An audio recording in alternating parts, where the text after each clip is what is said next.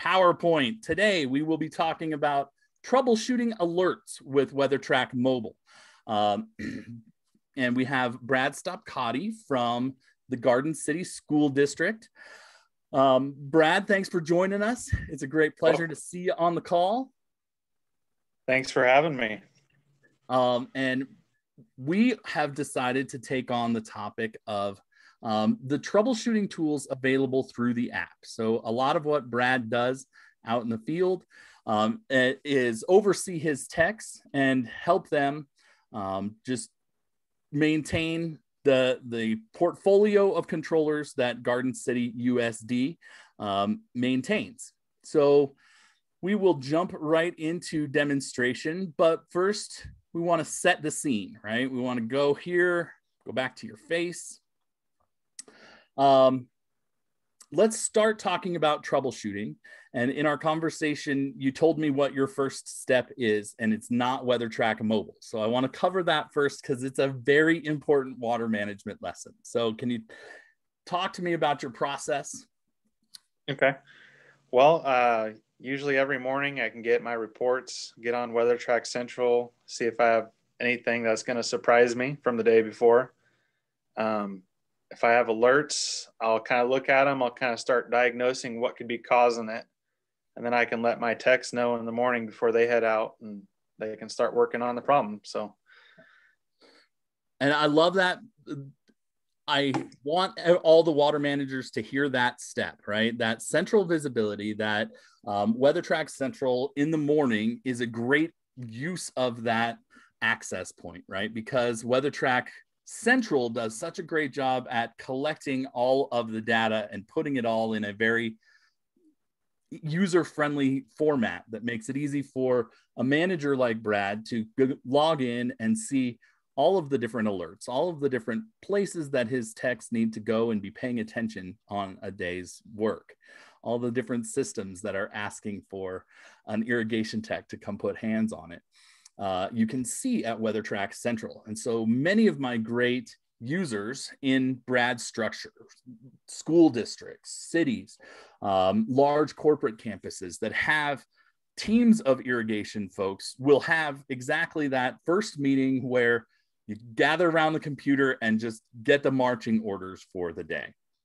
And uh, I think that that is a great example of how to use the WeatherTRAK technology.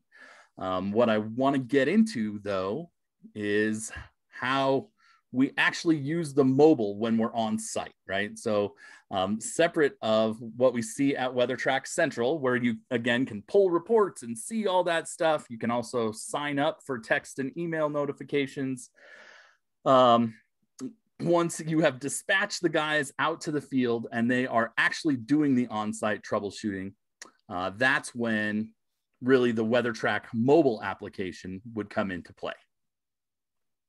Okay, and so give me two seconds. Let's see how I can share my screen here and we will just do a demo of the WeatherTRAK mobile app.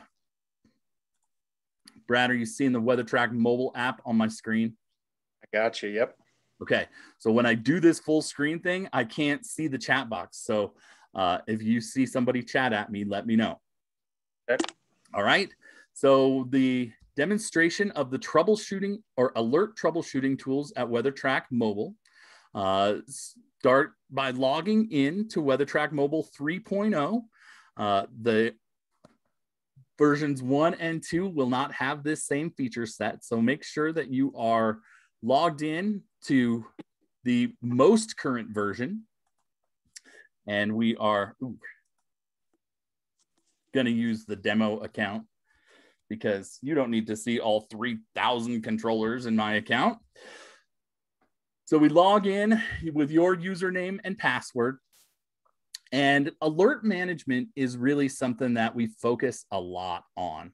Um, the alerts really are the day to day management of um, WeatherTracks, right? Because once you've dialed in your weather settings, um, the alerts are really kind of the what keep you on site. And so through this site walk tool or WeatherTRAK mobile, we really focused on alert management. And you can start to see that right at the very first screen. When you log in, you'll see this sites screen and you can log into a single site and look at the overview page for that site. Let's look at my yard, for example. And here on the overview screen, this is the site overview where you'll have a site picture and you can see my snowy little house there. You can see the weather predictions. And then if you scroll down, you see a summary of all of the alerts that you have on site, both controller status and controller alerts. And this is all of your controllers on a site tied together. So this is, I mean, it, alert management really starts at the very, very beginning. Um, the, you can actually see on each site how many alerts summarized uh, site by site right here on the sites page. So you can see um, some very high, high level alert information right here on your sites page. And then as you start to drill down, a great example of that, this four controller site down here has six red alerts and one gray alert. Um, the red alerts are the ones that can immediately affect the health of your landscape. And so on this site page, you can look at it as an overview, or if you drill in, you can see I've got four controllers out on this site and again, you'll see the separation of the red alerts and the gray alerts. Brad, yep. I have to put you on the spot here. Um, okay. Do you, what do you do about gray alerts? Do you do anything about those? Uh, I know that the ones that are in red are the most important ones. Those are ones that are just begging for attention. Right. One of the most common questions is what about these non critical alerts? How do you manage those? Is that something you leave to your techs or you do for yourself? That's uh, mainly one that I'll manage myself. Um, like right now, a lot of my gray ones are just climate control uh, rain pauses. Um, is what I currently have on mine. Trying to look to see Oh. Yeah, so it's really anything that's not a, a, system alert, right? It's not a major or critical alert. Um, but those are one of the key things about understanding alert management is understanding that some of these alerts are designed to run to, right? Some of these alerts are are stop what you're doing and go out to the site and look.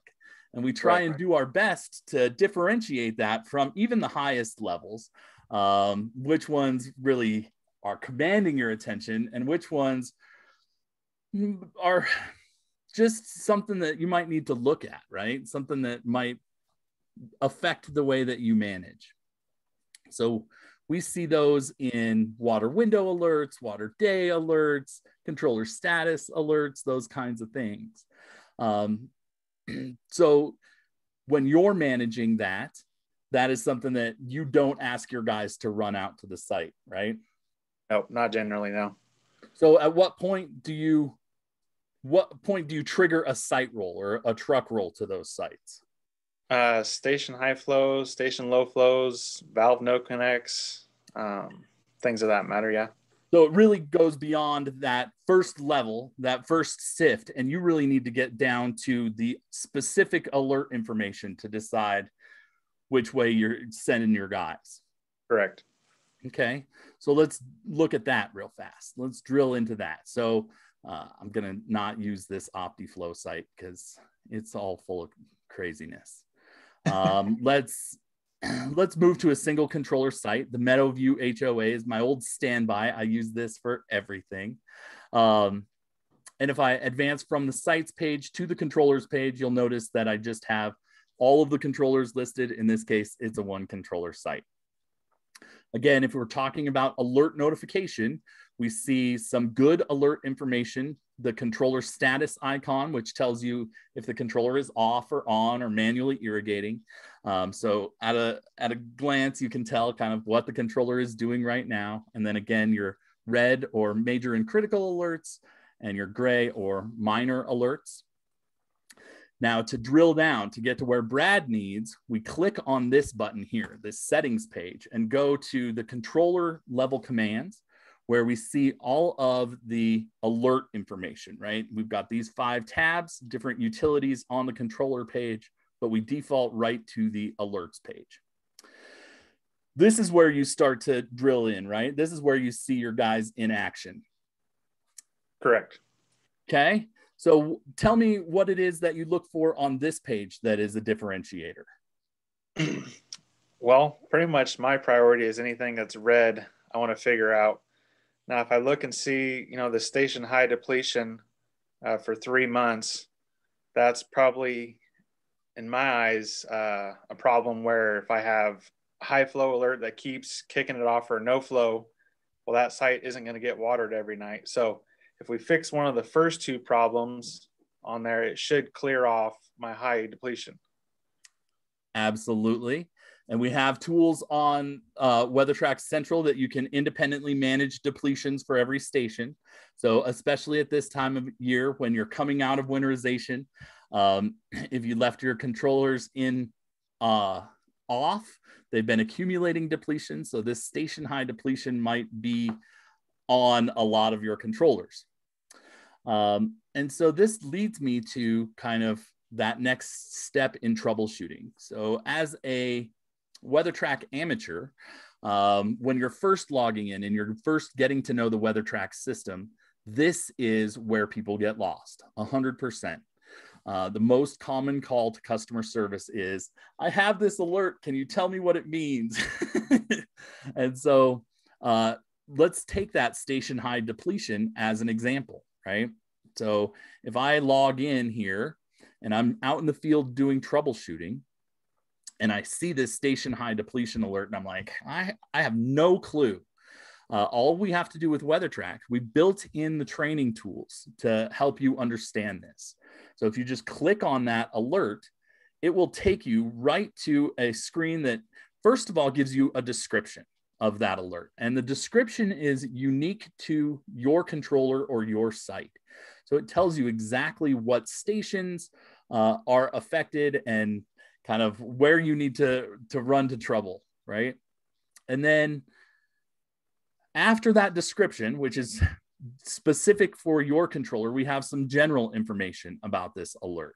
The severity, um, kind of how important is it? How closely do we need to monitor and run to this problem?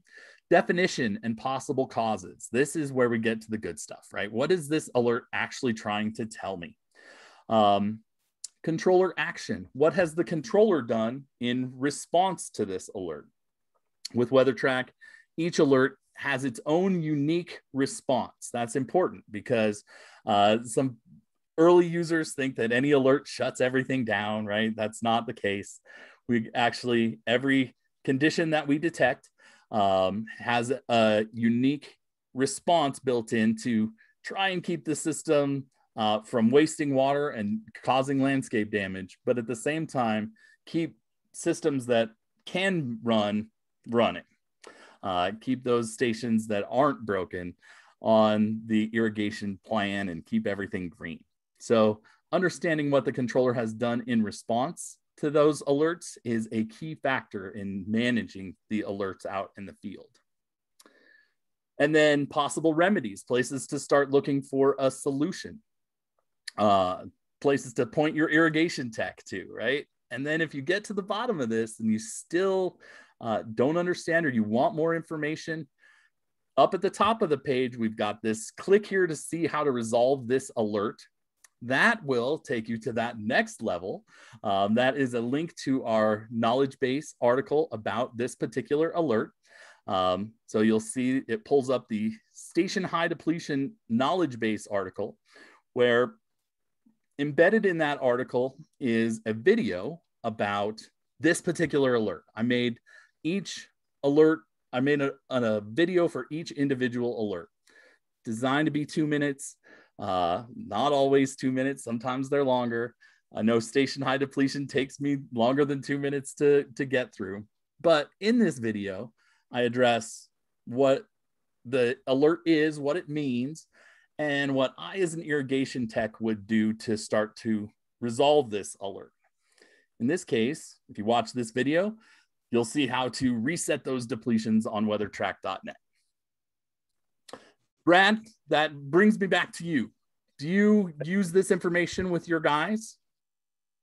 I've started to. Um, a lot of my guys don't have WeatherTRAK mobile because I have kind of a smaller crew.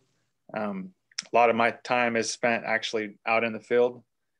Uh, I do have a few guys that can do it, but I'm going to start training them. And yeah, that's something that they will definitely use.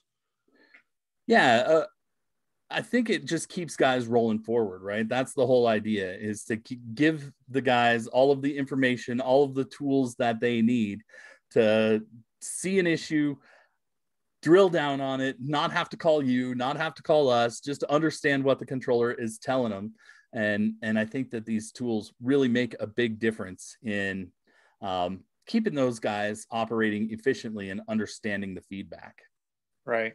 And one thing that I've, I, I find a benefit of it is you don't have to be an irrigation expert to fix some of these. Like you said, your steps, you're looking where to look, how to fix it is they're pretty spot on. So yeah, and uh, uh, to your point, a lot of this stuff, especially those gray alerts, um, don't need to be managed by an irrigation tech, right? A lot of times, what the kind of the cloud is telling us, the the minor alerts are just issues with the schedule or or minor things that absolutely you don't have to be the the guy with mud on his shoes to fix. Mm-hmm. Um, so I think that that's a, a great way to keep everybody on the same page and moving forward. All right. So that is, I think, one of the big alert management tools um, is just visibility into that good, clean, clear information about each individual alert. Let's go back to this. Um, one of the other things that plagues people one of the other things that we have to, to be paying attention to is if you have an alert on a station, you won't be able to run that station manually. So if I go over here to the manual irrigation function or the stations page on WeatherTrack Mobile, you can see here that station one has a flow alert on it. And because we have a flow alert on it, we don't even have the button that will allow for manual irrigation. So even if I wanted to run this station, I couldn't because this alert is affecting this station and won't let it run. So if I go out to the site and I am working through the process, right? I've used this information to drill down um, and figure out what's going on. Maybe I've got a no flow. Yes, no flow is station one. So no flow basically means kind of the amount uh, or I tried to prompt irrigation on a station and I got nothing out. Um, if I go out to the site and I find that the water has been turned off, that's a good reason for a no flow. So I turn that water back on, but I want to test my repair. I can't, right? Because this alert is sitting there saying you can't turn the water on. You can't test your repair um, because of this alert. So, a critical part of the troubleshooting tools is to know how to clear these alerts. So, I go back to my alerts page, and you see here on the alerts page that we have at the bottom clear flow, clear electrical, and clear both. So if I clear those flow alerts, if I hit the, if I've found the problem, right, I turn the water back on, I want to test my repair, I need to clear the alerts. And when I hit that clear alerts button, any of the buttons, you'll get this message saying, hey, this is a process. This may take a few minutes. The response in clearing alerts isn't the same um, as we would expect out of like mobile or manual function turn stations on and off as fast. This is a whole test that has to be sent to the controller, executed, and then um, sent back. So it does take a few minutes. But if I hit OK here, it will process um, and you'll see that these when these alerts are resolved, they'll disappear from your mobile app. Boom. Just like that. And that gives us the ability to go in and test those stations, run those stations manually only after they have been cleared. So we can test the repairs that we have just made. Brad, are you using these uh, field tools? Are you using those clear buttons on WeatherTRAK Mobile?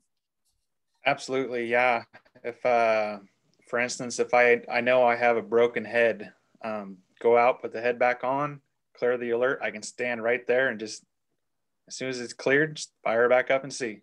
Yeah, and that's uh, another great point, right? Clearing it from your pocket is one thing, but then being able to test it, being able to use the manual function is such a critical part of many of the repairs.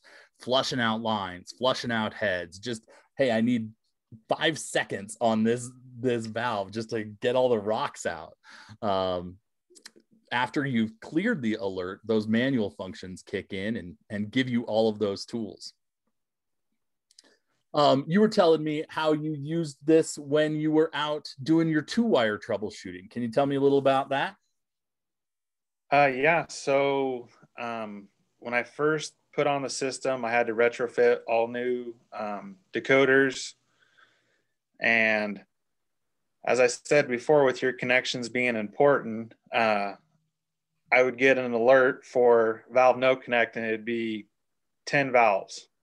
So you can get on there and look at your alerts and see. And like I said before, if you have a map, you can go and look, okay, well, this is the first valve that's in that sequence.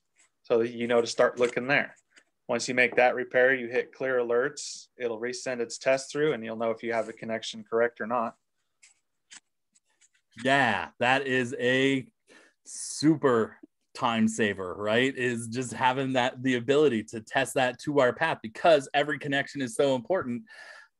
Just the the idea of having to walk back and forth to the controller every time um, to clear those alerts to retest repairs, especially when you're chasing a two wire connection, um, can be a huge time saver. Can save you just hours and hours of of walking back and forth from valve box to controller and back to the valve box.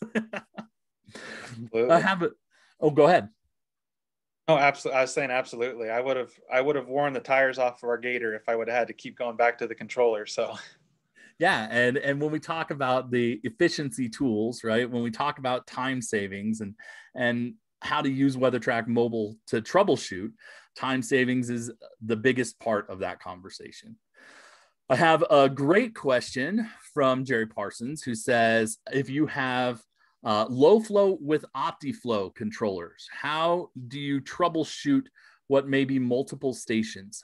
Um, and Jerry, I've got a good answer for you. The let me show you how I would do that. So let me go back to my screen with OptiFlow controllers. First, I need to go find myself an OptiFlow controller because what we're about to talk about is exclusively available on OptiFlow controllers. So I go to my Red Rock HOA and um, then I choose the station that I want, or the, I go to the manual function and um, it defaults to this single station behavior that you have on all of our controllers. But with OptiFlow controllers, if you go to multiple, you can either run one station at a time or you can do what we call overlap stations or run multiple stations at once. So if I was getting a low flow alert for an OptiFlow controller, first of all, the alert tells me exactly what stations were running when that alert was detected. And just so you know, the low flow is a no response alert. It doesn't interrupt irrigation at all. It keeps irrigating in spite of that alert because it doesn't think that we're wasting water. But um, if you want to test and see what the system is doing when all those stations are on, you come to your manual multiple page and down at the bottom of the page, switch from uh, this icon, which says I'm going to run the first station manually, and then I'm going to move to the next one and move to the one after that. This icon down here, if I switch that, this will allow an OptiFlow controller to run multiple stations at the same time. We call that multi, multi-manual.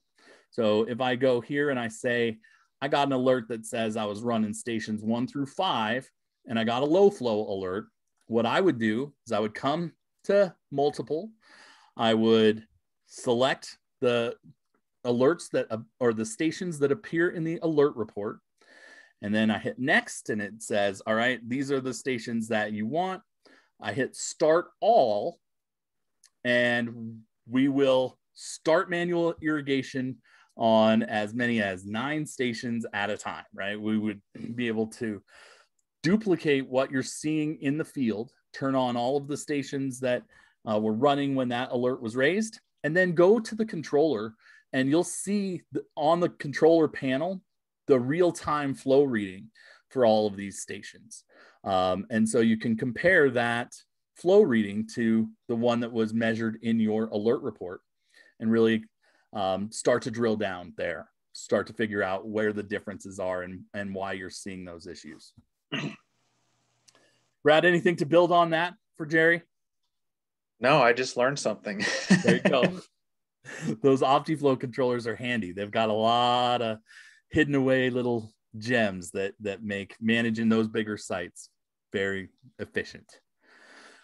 All right. Um, so we've talked about alert management, seeing alerts, accessing alerts, clearing alerts, uh, and testing alerts, which is kind of the, the gambit. It's kind of what we wanted to, we set out today to, to talk about. Um, you have anything to build on, Brad? Any other stories you want to share with the crowd? Um, well, I just want to say another useful tool with the manual. Um, I know it's not for the alerts, but just being able to be out on site in that zoned area and be able to walk right to a head start stop is is amazing i mean just the time it saves the effort just it's there um, and it, it really does help troubleshoot like if you know not necessarily with an electrical alert or a flow alert but you can also check out you know if a head's not turning properly or whatever it may be so. Yeah that that manual function from your pocket is powerful right? Not to be over overlooked is just the ability to do our job without technically ever going to the controller. Like oftentimes uh, i have all of the tools in my pocket uh, that i need to go on site and troubleshoot issues without ever going and unlocking the box on the wall do you find the same thing yeah most generally yeah i don't hardly ever visit a controller on a site. So, yeah, and that's something. I mean, that's ser- a huge paradigm shift, right? That's a huge change in the way that we do things. Um, is just kind of streamlining the process, walking up to the problem, turning on the the valve that we're looking at, um, without ever really having to go through the process of opening that controller up and dusting out the cobwebs, fighting the bees that come out of those controllers. That's awesome. Um, all right. Well, then that kind of brings us full circle. Um, Brad, I want to finish out by uh, asking you what I ask all of my first time guests uh, who always get the question what does WeatherTRAK save you? Time. Um, I got a pretty large school district, 18 buildings. Like I said, we got 7,500 students. Um, just being able to manage 81 acres of irrigated turf, it's it's amazing to be able to have the power, the knowledge, the the like you said, look at the clarity of everything, um, and be able to get it done quickly and in a fashionable manner. So it's a time saver with a small crew. So that's awesome. And uh, a very popular answer, one that I, I must walk people into because that is awesome perspective and really what we want to capture, right? That is what this show is about and what the technology is about. Hopefully, we are helping our users save time at every turn. All right, Brad. Well, um, let me go back. I have a up a plug for next week, and then we oh, let me stop this still running the uh, old multi-manual test on these controllers. All right, so if you have questions, we are always here to help, right? We've got the support services, six day a week bilingual customer support at our customer support team. We've got online training resources, free on demand certified training available at hydropoint.learnupon.com. Um, so lots of ways for you to learn more about WeatherTRAK and get the help that you need. Um, please reach out if there's something that we can do to help. And next week, I'm excited to have an old friend of mine, an old friend of the show, Joe Jackson from Sprinkler Supply in Utah, was one of our first guests and will return next week to talk about what makes a good water manager. He sees that the role of water manager is an emerging one in the landscape field. And we want to talk about kind of what he sees uh, those good water managers doing to make a difference in their organizations. So excited to have that um, and excited to see Joe next week. All right. And with that, um, I will thank you all for being here this week and tuning in. Brad, you have anything for everyone before we sign off? Well, if you're in Garden City, Kansas, we got a new pool opening. Um, they took out our big pool which was at one time the world's largest hand dug pool. And they have a new water park, new slides, everything's going in. It's opening in 18 days. So, well, next time I'm in Garden City, Kansas, I'm bringing my swimming suit. There Thanks, you. Thank you.